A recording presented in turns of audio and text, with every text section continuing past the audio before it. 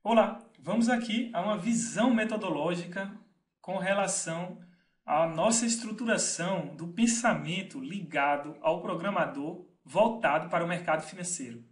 Veja só, nós que vamos chamar assim, somos traders, traders no mercado financeiro, estamos dispostos a trocar riscos por retornos maiores, retornos acima, por exemplo, de uma taxa base, né, de um benchmark da economia como uma taxa Selic. Então a gente já tem um mindset diferenciado das pessoas com um perfil mais conservador, mais tradicional. E dentro de toda essa concepção de necessidade né, de trocar riscos por retornos, nós temos que ser organizados, temos que ser resilientes, temos que ser pragmáticos, temos que ter um pensamento linear ou cartesiano.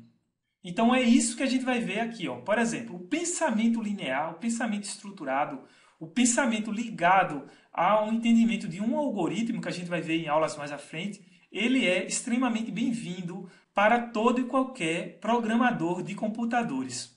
Por quê? Porque a gente vai ver que o computador ele é uma máquina burra, é uma máquina travada. E por que, que ele é burro? A gente quando fala burro é porque temos aquelas aquelas barreiras, né? Temos um horizonte de enxergar o caminho bem fechado. A burrice é isso, né? Deixa você ali, ó, ligado apenas num direcional.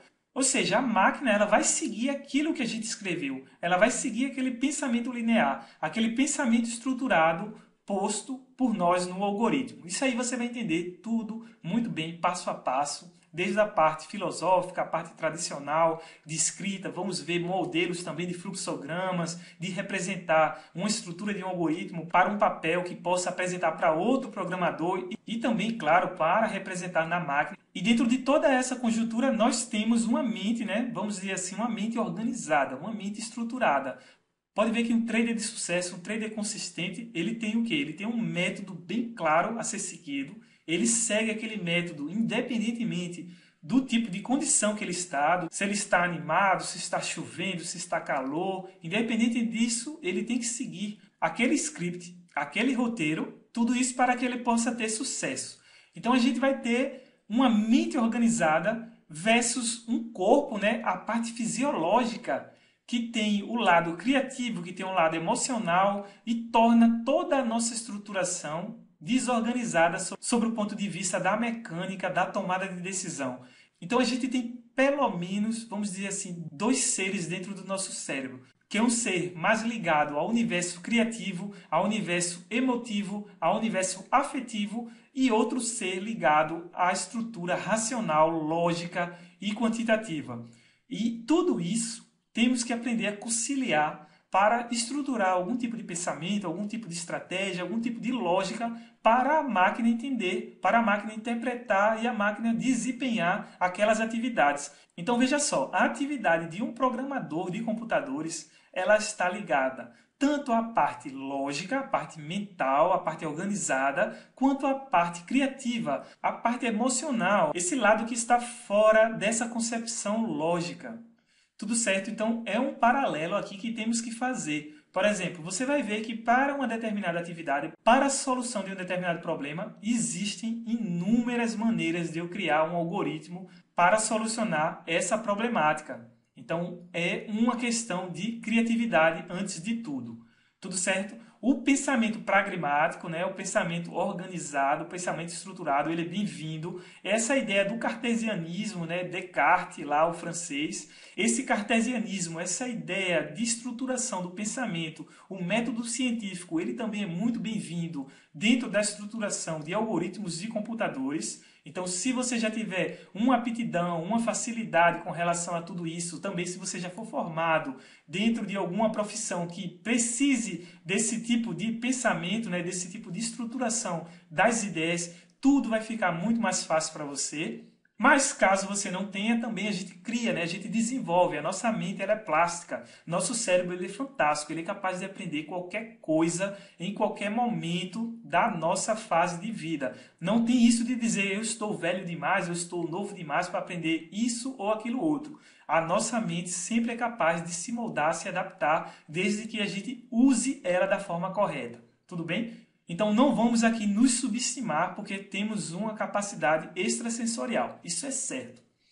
Com relação aqui à organização das ideias, nós precisamos ter isso muito claro. As nossas ideias precisam estar bem organizadas. O nosso raciocínio ele precisa ser linear, bem orientado para a solução de problemas, porque o programador de computadores ele quer isso, ele quer resolver problemas do cotidiano, problemas do nosso dia a dia. E no nosso caso, os problemas são relacionados ao mercado financeiro, aos gráficos de candlesticks, por exemplo. E dentro de toda essa concepção de estruturação lógica, nós precisamos fazer o quê? Aprender como delegar atividades repetitivas, complexas, que exigem muita memória, que exigem muito esforço para as máquinas. Precisamos entender como é que as máquinas podem receber as nossas instruções, os nossos pedidos, os nossos chamados. Precisamos entender uma lógica de programação capaz das máquinas entenderem. Tudo certo? Aqui eu vou mostrar para você uma linguagem específica e, claro, já direcionada, já pronta para a gente poder trabalhar com esse universo de trader, certo? E por que nós precisamos das máquinas ao nosso lado? Porque as máquinas são essenciais para nós nos dias atuais.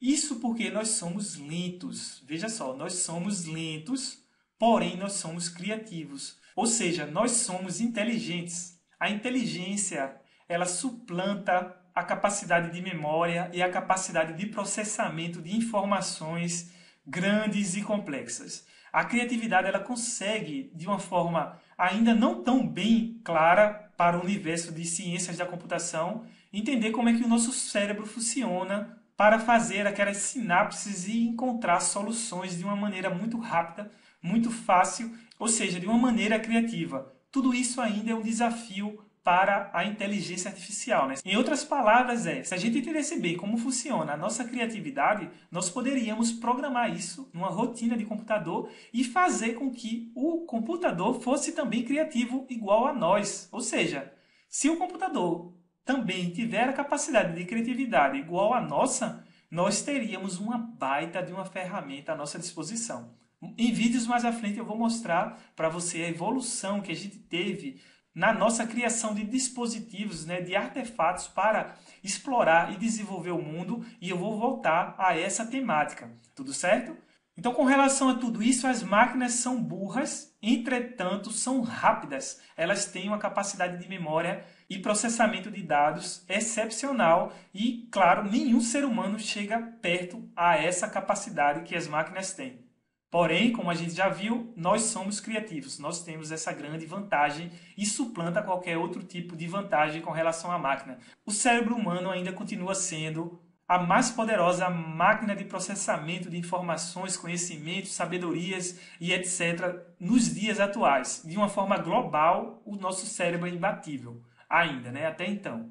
Então, nós vamos fazer com que as máquinas trabalhem para a gente porém utilizando toda essa nossa capacidade criativa para tirar proveito da grande capacidade de memória, memória que as máquinas têm, né?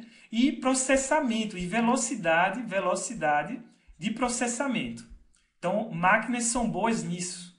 E por que não utilizar essa grande vantagem das máquinas a nosso favor? Não é verdade? Por isso, nós vamos aprender a programar daqui para frente, ou seja, em outras palavras, né, nós vamos aprender a dar ordens às máquinas fazendo uso da nossa capacidade intelectiva ou da nossa capacidade de criatividade e também de uma forma ou de outra aprender como colocar os nossos ingredientes humanos dentro desse universo das máquinas, dentro desse universo dos computadores. Tudo certo? Tudo isso aqui pode ter parecido um pouco banal, um pouco bobo, algo não tão importante assim, mas tenha certeza que tudo isso é bastante importante, porque estamos agora num alinhamento entre máquinas e inteligência, entre inteligência artificial, lógica de programação, algoritmos para analisar grandes volumes de dados, ou seja, precisamos integrar tudo isso de alguma forma e ter esse desconforto de curiosidade com relação ao funcionamento do nosso cérebro, ao funcionamento da nossa mente, as nossas emoções, a nossa parte lógica, a conexão e tudo isso, tem tudo a ver, está tudo conectado com o futuro bem próximo que é esse universo da análise quantitativa, dos estudos de ciência e análise de dados com inteligência artificial e computação de alto desempenho. Tudo certo? Então vamos lá, aguardo você nos próximos vídeos que a gente vai aprender muita coisa com relação a esse universo de programação de computadores. Até breve!